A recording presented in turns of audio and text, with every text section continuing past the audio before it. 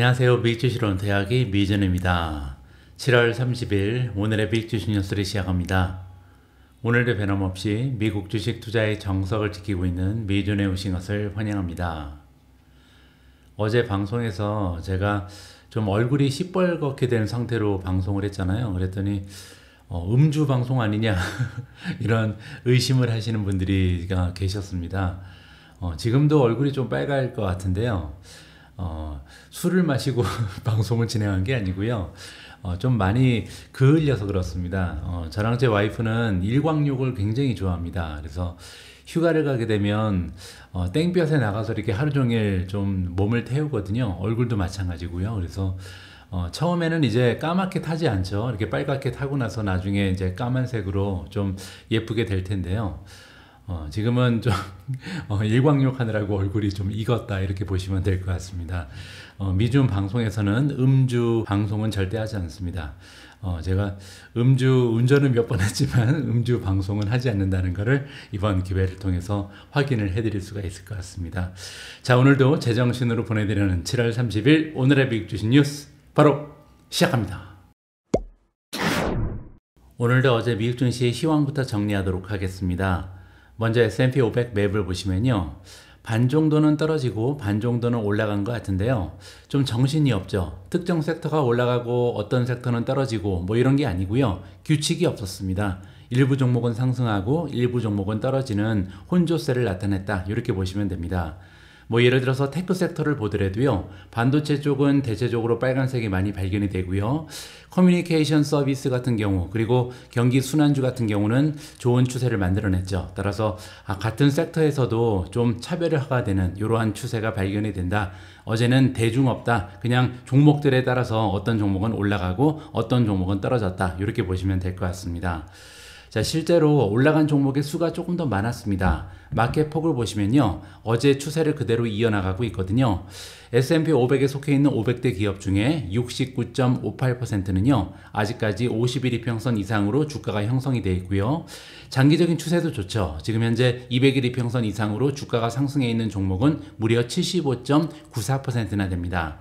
제가 매일 방송에서 여러분들께 이렇게 시장의 폭을 보여드리는 이유가 있는데요. 지금 현재 자금의 이동 현황을 살펴볼 수 있기 때문입니다.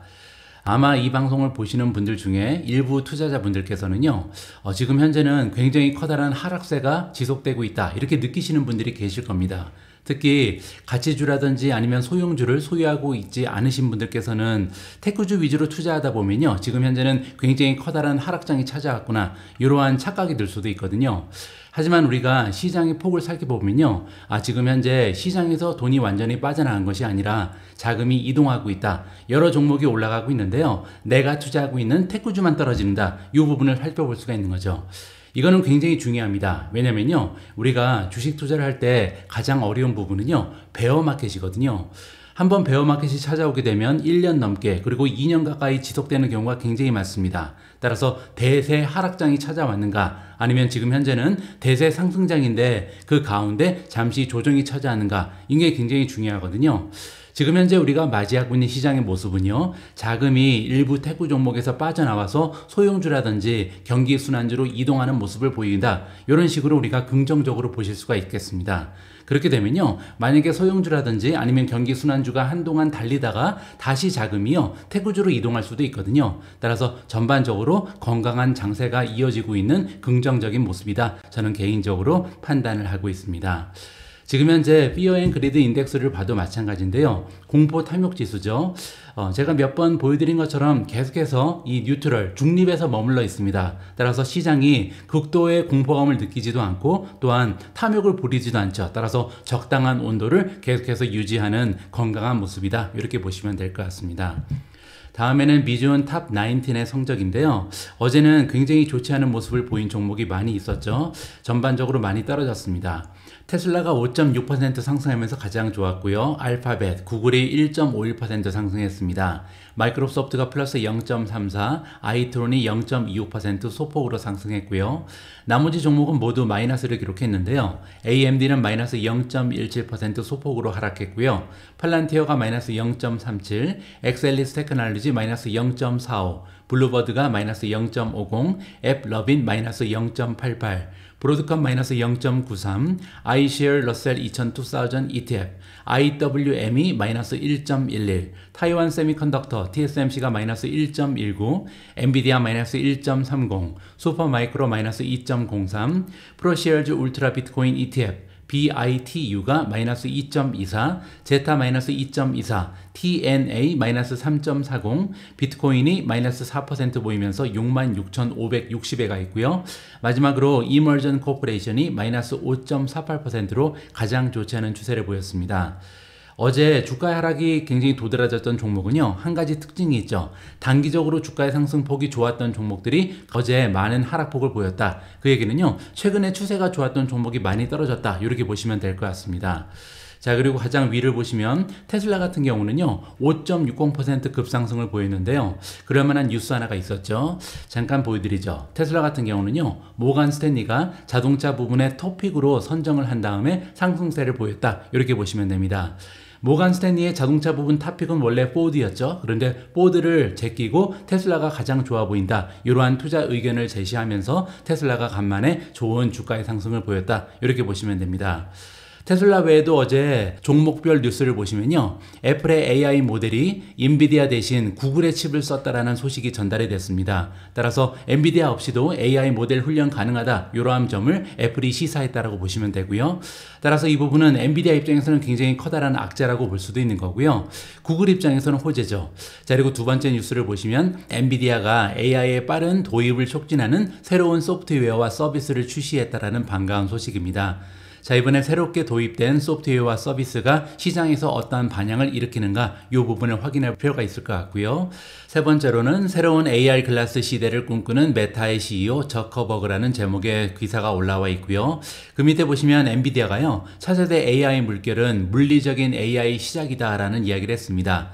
물리적인 AI라는 것은요, 로보틱을 얘기합니다. 따라서 지금 현재는 AI가 가상 공간 안에 갇혀 있죠. 어떻게 보면 컴퓨터 안에서 우리가 소프트웨어를 이용해서 사용하는 AI 모습을 보이고 있는데 향후에는 로봇이 움직이는 시대가 온다. 그렇게 되면 그 시대에도 엔비디아가 지배할 것이다. 이렇게 긍정적인 전망을 젠슨 황이 제시했다. 이렇게 보시면 됩니다. 자, 이렇게 다양한 종목의 뉴스가 있었는데요. 오늘은 시장의 전반적인 뉴스에 집중을 하면서 방송을 꾸려보도록 하겠습니다. 오늘 처음으로 준비된 기사는 시장에 대한 전망이고요. 뱅크 오브 아메리카의 시장 전망을 함께 살펴보도록 하겠습니다. 뱅크 오브 아메리카의 전략가 주장에 따르면요. 이번 조정은 아직 시작에 불과하다. 아직은 한참 더 떨어질 가능성이 있다. 이렇게 우울한 소식을 전달하고 있습니다. 그들의 목소리를 한번 들어보도록 하죠. 뱅크 오브 아메리카 글로벌 리서치에 따르면요. 미국 주식시장의 랠리는 역사적인 그리고 계절적 추세로 인해서 S&P 500의 단기 리스크가 높아지면서 향후 몇 달 동안 하락세로 전환될 수 있다라는 주장을 하고 있습니다. 따라서 이번 하락세가 언제 끝나나 이렇게 기다리는 투자자 입장에서는요, 조금 더 기다려야 된다, 몇 달 더 지속된다, 이렇게 우울한 소식이 전달이 되는 거죠. 1936년 이후에 대형주 S&P 500 지수인 SPX는요. 연평균 세 차례나 5% 이상 하락을 했고요. 매년 최소 한 차례 이상 10%의 조정을 겪었다라고 주식 및 quant 전략가인 사비타 수브라마니안이 이끄는 뱅크 오브 아메리카 전략가 팀이 월요일에 메모를 통해서 발표를 했습니다. 역사적으로 살펴봤을 때요. 보통 1년에 3번 정도는 5% 이상 S&P 500이 하락을 하고요. 또한 1년에 한 번 이상은 10% 이상 떨어지는 조정장이 온다. 우리가 보통 영어로 correction이라고 부르죠. 따라서 한동안 지금 correction이 오지 않았잖아요. 10% 이상 떨어지는 조정이 아직까지 오지 않았기 때문에 1년에 한 번 이상 오는 조정이 찾아올 것이다. 뭐 이러한 전망이라고 보시면 될 것 같습니다. 최근 mega cap 기술주의 급등락으로 인해서 이른바 rotation trading이 시작되면서 S&P 500 지수 그리고 나스닥 종합 지수는요. 4월 이후 최악의 한 달을 보내고 있는 상황입니다. 하지만 수브라마니안이라는 전략가에 따르면 과거를 우리가 참고해 볼 때 미국 증시의 격변기는 계절적으로 S&P 500 수익률이 약세를 보이는 8월과 9월에도 계속 이어질 수 있다. 이렇게 얘기하고 있습니다. 자, 이 얘기가 뭐냐면요. 여기 그래프가 두 개 나와 있는데 그 중에 오른쪽 그래프를 살펴보시면 됩니다. 1928년부터 지금까지 미국 증시의 역사적인 통계를 정리해서 보여주고 있는데요. 매달 매달 수익률이 굉장히 극심한 차이를 보입니다. 자, 여기에서는 수익률의 차이가 많이 난다는 것을 강조하기 위해서 Annualized S&P 500 price return을 보여주고 있습니다. 이 얘기는 뭐냐면요. 매달 매달 주식이 어느 정도 움직였는지 계산을 하고요. 거기에 곱하기 12를 한 겁니다. 자, 이렇게 봤을 때 2월 달은 역사적으로 마이너스 수익을 보여줬고요. 자, 그리고 여기 보시면 13.5%나 떨어진 달이 있잖아요. 이게 바로 9월 달입니다. 그리고 8월 달도 8.2% 올라가면서 뭐 중간 정도의 수준을 유지하고 있는 거죠. 따라서 원래는 전통적으로 7월 달에 굉장히 강력한 달이었는데 이번 7월 달은 좋지 않은 소식이 계속해서 들려오고 있잖아요. 따라서 7월 이후에 8월, 9월 계속해서 추세가 나빠질 것이다. 그리고 전통적으로 미국 증시는요. 보통 10월 달 그리고 11월 1월 달부터 힘을 내면서 12월 그리고 1월 달에 가장 좋은 모습을 보여줬다. 이렇게 보시면 됩니다. 따라서 계절적으로 굉장히 좋지 않은 하락세가 유지될 만한 그런 통계가 나와 있다. 이렇게 정리가 가능합니다. 자, 그리고 또 한 가지가 있는데요. 미국 대선을 앞두고 미국 시장의 변동성이 커질 가능성이 높다. 자, 이거 역시도 통계를 살펴보면요. 1928년 이후에 선거가 있는 해 빅스 지수, 즉 우리가 공포 지수라고 부르는 거죠. 이 공포 지수를 살펴보면요. 7월부터 11월까지 평균적으로 25%나 상승한 역사가 남아 있습니다. 그리고 이렇게 빅스가 올라가게 되면요. 주식에는 위험한 배경이다라고 뱅크 오브 아메리카의 전략가들은 말을 하고 있고요. 올해 역시도 여러분들 제가 방송에서 여러 번 말씀드린 것처럼 빅스가 7월 현재까지 무려 32%나 급등하면서 2년 만에 가장 커다란 월간 최대 상승률을 기록하고 있습니다. 자, 여기 나와 있죠. 이 그래프에 보시면요. 보통 미국의 대선이 있는 해에는 계속해서 7월 달부터 8월, 9월, 10월 쭉 해서 변동성이 극심해지는 모습을 우리가 직접 확인해 볼 수가 있겠죠. 자, 하지만 그럼에도 불구하고 수브라마니아는 무슨 얘기를 하냐면요. 투자자들이 본격적인 약세장을 경험하기는 어려울 것이다. 여기 나와 있는 약세장은요, 베어마켓을 얘기합니다. 따라서 지금 주가가 조정을 받고 있지만 이거는 베어마켓으로 들어서는 초입은 아니다. 이렇게 얘기하는 거죠. 자, 그 이유 역시도 지금 아래 차트에서 설명을 해주고 있는데요. 1990년으로 거슬러 올라가는 S&P 500 지수 정점에 있었던 10가지의 거시 경제적 트리거를 보여준다. 얘기는 뭐냐면요. 항상 우리가 베어마켓을 맞이할 때 신호들이 잡혔다는 거죠. 그리고 10가지의 신호가 잡힌 다음에 보통 베어마켓이 나타나게 되는데요. 전략가들이 분 석을 해보니까 주식이 약세장에서 아직 멀었다는 것을 직접 확인할 수 있다고 합니다. 구체적인 설명이 나와 있는데요. 이전에 S&P 500이 정점에서 나타났던 평균적으로 70%의 신호가 잡혀야 되는데 지금 현재는 50% 정도의 신호만 발동했다. 자, 그 얘기는요. 거시적인 환경에서 10가지의 지표를 놓고 우리가 7가지 이상이 해당이 되면요. 그에는 보통 베어마켓이 뒤따르는 경향이 있었다. 자, 그런데 지금 현재는요. 처음에 6개월의 상황을 종합해서 봤을 때 10가지 지표 중에 5가지만 신호가 발동된다. 그 얘기는요. 베어마켓이 나타나는 해에 비해서 아직 아직까지 거시적인 환경이 건강하다. 뭐 이런 식으로 우리가 해석이 가능할 것 같습니다. 다음으로 준비된 기사 역시도 시장에 대한 전망입니다. 이번에 함께 살펴볼 시장 전망은 오펜하이머의 목소리다라고 보시면 되고요. 앞에서 살펴본 기사랑 줄거리는 비슷합니다. 앞에서 우리가 살펴본 뱅크 오브 아메리카의 목소리 역시도 지금 현재는 하락세가 두드러진다. 따라서 당분간 하락세가 지속될 가능성이 높다. 하지만 그럼에도 불구하고 결론은 굉장히 긍정적이잖아요. 대세 하락장은 아니다. 지금은 대세 상승장 가운데 있는 조정에 불과하다. 이러한 느낌의 기사였습니다. 자, 이번에도 비슷한 얘기를 하고 있는데요. 지금의 시장 약세는 소용주를 매수할 수 있는 기회다. 따라서 떨 필요 없다. 조만간 하락세는 지나간다. 뭐 이런 식으로 이야기를 하고 있습니다. 자세한 이야기를 한번 들어보시죠. 오펜하이머의 애널리스트들은요, 현재 시장 약세가 매수 기회라고 계속 믿고 있다라고 시작을 합니다. 기술적 분석 보고서에 따르면요, 시장이 지금 강세장 내에서 조정을 받고 있을 뿐이고요, 거래 조건이 전술적으로 매력적이 되고 있으며 그 얘기는 밸류에이션이 떨어져 있다는 거죠. 그리고 리더십 트렌드가 방어보다는 공격을 가리키고 있다. 따라서 시장의 움직임을 보면 현재는요, 가치주보다는 아직까지는 공격적인 성장주가 더 좋은 모습을 보인다. 뭐 이런 식으로 해석이 가능합니다. 게다가 강력한 상승 시장 서프라이즈가 그대로 남아 있다. 따라서 catalyst도 아직 좋은 부분이 많이 있다는 거죠. 뭐 예를 들어서 엔비디아가 좋은 earning을 발표하게 되면 주식이 급상승할 가능성도 높잖아요. 자, 이런 식으로 아직까지는 하락세가 아니라 상승장 내에 있는 조정에 불과하다. 이렇게 정리가 가능합니다. 오펜하이머의 애널리스트들은요, 이러한 강세장의 재확대는 주요 고점에 대한 반론이며 하락세를 매수해야 된다라고 생각을 밝히고 있습니다. 자, 또한 지난주에 S&P 500의 일간 상대 강도 지수, 우리가 Relative Strength Index라고 부르는 RSI 지수죠. 자, 이 지수가 3개월 내에 최저치를 기록했다. 그 얘기는요, 굉장히 빠른 시간에 주가가 많이 떨어졌기 때문에 현재는 과매도 상태다. 따라서 기술적인 반등이 금방 이렇게 얘기하는 거고요. 한 가지 더 변동성 지수가 3개월 내 최저치보다 50%나 급등을 했다. 따라서 두 가지의 기술적 지표를 봤을 때 현재는 스쳐가는 바람에 불과하다. 이렇게 지금 얘기를 하는 거죠. 애널리스트들은요, 역사적으로 낮은 수준에서 빅스가 급등하게 되면 상승 추세에 매수할 수 있는 기회를 제공했다라고 이야기합니다. 따라서 지금은 빅스가 엄청나게 빠르게 올라가죠. 뭐 30% 이상 급등을 했잖아요. 자, 이렇게 변동성 지수라고 부르는 빅스가 급하게 올라갈 때는 잠시 조정이 발생할 수 있지만 그리고 나서 다시 시장이 상승 추세로 접어들었을 때는 줍줍을 해야 된다. 뭐 이렇게 정리가 가능할 것 같습니다. 자, 그리고 또한 고성장 벤치마크 S&P 500을 얘기하는 거죠. S&P 500의 시장이 소형주 중심으로 돌아서는 동안 조준선에 서 있었다. 따라서 지금 현재 힘을 모으고 있는 것이 S&P 500이다. 이렇게 얘기하는 거죠. 대안이 저변동성 방어주라면 대형주 성장주와 경기순환 가치주 및 소형주를 포함해서 재확장 거래 사이에 균형 잡힌 포트폴리오를 반복해서 강추한다.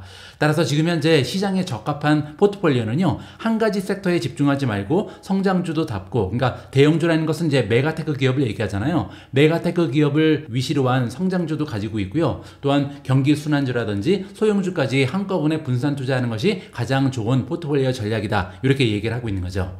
러셀 2000 지수의 3년 변동률은요, 1980년 이후에 단 몇 번, 1990년, 2003년, 2009년, 2020년, 이렇게 네 번만 초과한 적이 있는 극저점에 도달한 이후에 상승세로 돌아서고 있다고 합니다. 이 얘기는 뭐냐면요. 그동안 너무 오랫동안 러셀 2000 안에 들어가 있는 종목들이 굉장히 부진했다. 이렇게 지금 얘기하는 거죠. 자, 그런데 시장의 내부 시장 폭, 다양한 종목이 참여하는 것을 시장 폭이라 그러잖아요. 자, 이 시장 폭이 이번 사이클에서 아직 정점을 찍지 않았음을 나타내고 있다. 지금 현재는요, 러셀 2000 안에 들어가 있는 종목 중에 주가가 상승하는 추세를 보이는 종목이 많이 생겼습니다. 하지만 그럼에도 불구하고 너무 저점에서, 극저점에서 시작을 했기 때문에 아직은 한참 더 발전할 가능성이 높다는 거죠. 시장 참여 폭이 지속적으로 확대되면 즉 랠리에 기여하는 종목이 많아지게 되면요 모든 시가총액과 전체 시장 사이클에 걸쳐서 주식이 강세를 보일 가능성이 높다. 따라서 다가오는 미래에는 이 소형주 중에 점점 더 시장 참여 폭이 넓어지면서 그 얘기는 랠리에 참여하는 소형주가 많아지면서 전반적으로 러셀 2천이 좋은 추세를 만들어낼 수 있을 것이다. 이러한 예상이라고 보시면 됩니다. 즉 소형주 러셀 2000의 3년 모멘텀이 개선되고 있다는 것은 시장의 상승세가 더욱 광범위해지고 있음을 의미하는 거고요. 이는 강세장의 지속성에 긍정적인 신호가 될 수 있다. 따라서 오펜하이머의 애널리스트들은요. 이러한 상승폭 확대가 지속되면서 시장 전방의 추가 상승을 견인할 것으로 예상을 하고 있습니다. 자, 이번엔 오래간만에 IWM, 러셀 2000 추종 ETF죠. 이 ETF의 모멘텀을 체크하도록 하겠습니다.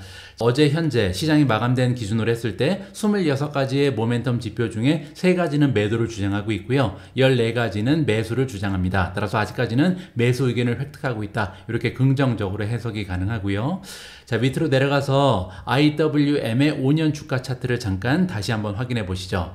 IWM의 5년 주가 차트는 너무나 예쁘죠. 제가 예전 방송에서도 몇 번 언급드린 것처럼 일단 너무나 강력한 지지선이 있습니다. 여기 보시면요. 한 번, 두 번, 세 번, 그리고 중간에도 한 번 있었잖아요. 자, 이렇게 세 번 이상이나 같은 부근에서 주가가 반등을 시도했죠. 따라서 굉장히 강력한 지지선이 일단 형성이 되어 있고요. 그리고 나서 한 가지 더 고무적인 부분은요. 여기 똑같은 부분에서 한 번 막히고 두 번 막히고 세 번 막혔잖아요. 자, 그런데 네 번째 뚫어냈습니다. 그러면서 이제 상승 추세가 도 드라지고 있고요. 자, 그리고 옆에 부분을 보시면요. 최근에도 횡보세가 다시 한번 나타나죠. 여기 작은 박스가 있잖아요. 따라서 큰 박스권이 한번 무너지고 뚫고 나가고 그리고 두 번째 박스권이 다시 한번 잡혔었는데 이거 역시도 뚫고 나가버렸다. 굉장히 강력한 상승 추세고요. 자, 이제는 다시 한번 저항선이 나타나는데 225달러 부근입니다. 따라서 이번에도 뚫고 나가게 되면요. 결국은 240까지, 245까지는 문제없이 계속 달릴 수 있지 않을까. 이렇게 우리가 기대해 볼 수가 있는 거죠. 자, 이번에는 IWM의 1년 주가 차트인데요. 1년 주가 차트의 마지막 부분을 보시면 여기 cup and handle이 형성이 되고 있습니다. 따라서 이 cup and handle이 완성이 되기 위해서는 전고점까지 뚫고 나가면 그리고 나서는 이제 cup and handle이 형성이 되는 거잖아요. 그 이후에는 좋은 주가의 상승을 기대해 볼 수 있지 않을까 개인적으로 기대감을 가지고 있습니다. 오늘 마지막으로 준비된 기사에는 뱅크 오브 아메리카가 다시 한번 나옵니다. 이번에는요, 인공지능 수혜주에 대해서 그들의 투자 의견을 밝히고 있는데요. 특정 인공지능 수혜주에만 투자를 해야 된다라고 얘기합니다. 과연 우리가 투자해야 되는 인공지능 수혜주는 어떤 종목들인지 그들의 목소리에 귀를 기울여 보도록 하겠습니다. 뱅크 오브 아메리카는 이번 주에 마이크로소프트를 비롯한 기술 대기업의 분기 실적 발표가 예정되어 있기 때문에 AI 테마가 더욱 면밀히 검토될 것이다 라고 주장합니다. 시장이 성장하는 기술에 대한 투자가 어떠한 성과를 내고 있는지 평가하는 방향으로 전환하고 있다라고 정리를 해주고 있습니다. 이 얘기는 뭐냐면요. 지금까지는 AI 그러면 무조건 주가가 올라가는 경향이 있었는데요. 이제는 그렇지 않다는 거죠. 더욱 면밀하게 자세히 살펴볼 준비가 되어 있는 것이 시장의 자세다. 이렇게 보시면 되고요. 이제는 성과에 따라서 어떤 수혜주는 주가가 계속 올라갈 수 있고요. 성과가 뒷받침되지 못하면 그동안은 어떻게 보면 인공지능 하이피잖아요. 따라서 이러한 거품이 무너지면서 주가가 하락할 가능성이 높다. 이러한 식으로 정리가 가능할 것 같습니다.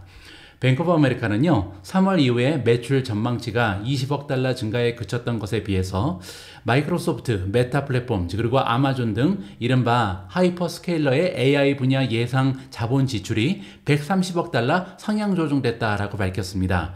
따라서 이거를 정리를 해보면요. 매출 1달러가 올라가는데 AI 설비 투자는 무려 9달러씩 상향 조정된 거죠. 따라서 기업이 밝히고 있는 예상은, 즉, 실적은 굉장히 소폭으로 올라가는데 AI 설비 투자는요, 그거보다 9배나 더 올라가고 있다. 따라서 버는 돈에 비해서 지나치게 자본 지출이 많이 늘어나 일어나고 있다. 부정적으로 해석이 가능한 거죠. 뱅크 오브 아메리카의 미국 주식 및 quant 전략 책임자 사비타 수브라마니안이 다시 한번 나오는데요. 자, 수브라마니안의 의견에 따르면 AI 투자 사이클은 계속될 가능성이 높다. 하지만 AI 과열 시대는 끝났다라고 아주 냉정하게 얘기합니다. 그녀는요, AI가 알려주기에서 보여주기로 전환되고 있다. 알려주기라는 것은요, 어떤 기업이 AI랑 관련이 있는지 알려주기만 하면 주가가 올라갔다는 거죠. 자, 그런데 지금부터는 알려주기는 부족하다. 이제는 보여줘야 된다. 실적으로 증명을 해야 된다. 내가 AI 수혜준지 아닌지 실적으로 보여주는 기업만 상승할 수 있다. 이렇게 얘기하는 거죠. AI로 수익을 창출하는 기업이 선두를 차지할 것이다라고 정리가 가능하죠. 그녀는 지난 12개월 동안 시장이 AI를 말해줘 단계에 있었다. AI라는 단어를 말해주면 주가가 올라갔다. 이렇게 굉장히 재미있게 얘기하는 거죠. 수브라마니아는요, AI로 수익을 창출하는 기업의 예로 서비스 나우 그리고 어도비를 꼽았습니다. 왜냐면요, 이 두 기업은 최근에 실적 발표 이후에 기업의 주가가 엄청나게 상승을 했죠. 그 이유는요, 실제로 인공지능 투자하고 나서 실적이 많이 향상됐기 때문입니다. 이런 식으로 보여주는 기업이 주가가 올라간다. 이렇게 보시면 되죠. hyperscaler, hyperscaler는 인공지능의 인프라를 구축하는 기업입니다. 뭐 예를 들어서 알파벳, 마이크로소프트, 메타 플랫폼, 아마존이 대표적인 예죠. 이런 기업들은요, 2024년 S&P 500의 설비 투자 증가액의 대부분 1980억 달러를 차지할 것으로 예상이 되고 있습니다. 자, 그런데요, 부정적인 역사적인 사실이 있는데 역사적으로 재투자 주기에 있는 기업은 실적이 저조했다라고 아래의 차트를 공유했거든요. 1986년부터 지금까지 카펙스를 많이 쓰는 기업 때 그냥 시장의 수익률을 비교를 해보면요. 여기 보시는 것처럼 카펙스를 많이 사용하는 기업들이 전반적으로 시장의 수익률에 미치지 못했다. 이러한 역사적인 사실을 우리가 살펴볼 수가 있습니다.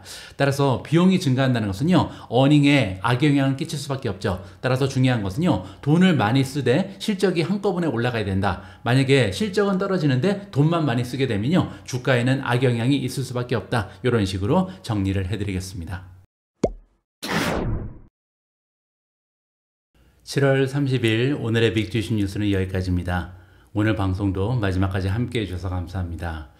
어, 지금 현은 휴가 중인데요. 아무래도 방송의 quality가 어, 휴가 전하고 비교했을 때는 많이 떨어질 겁니다. 뭐 음향이 울린다고 말씀하시는 분들도 계신데요. 지금 이 방에 소리가 좀 울리더라고요. 그래서 아마 시청하시는데 약간의 불편함이 있으실 수 있는데요. 제가 휴가 중에도 이렇게 방송을 하고 있는 중이기 때문에 너그럽게 이해를 해주셨으면 합니다. 저는 내일도 여러분들 투자 활동에 도움될 수 있는 다양한 정보 모아서 다시 인사드릴 수 있도록 하겠습니다. 우리 모두가 미국 주식 투자로 은퇴하는 그날까지 다 함께 화이팅입니다. 행복한 하루 되세요. 감사합니다.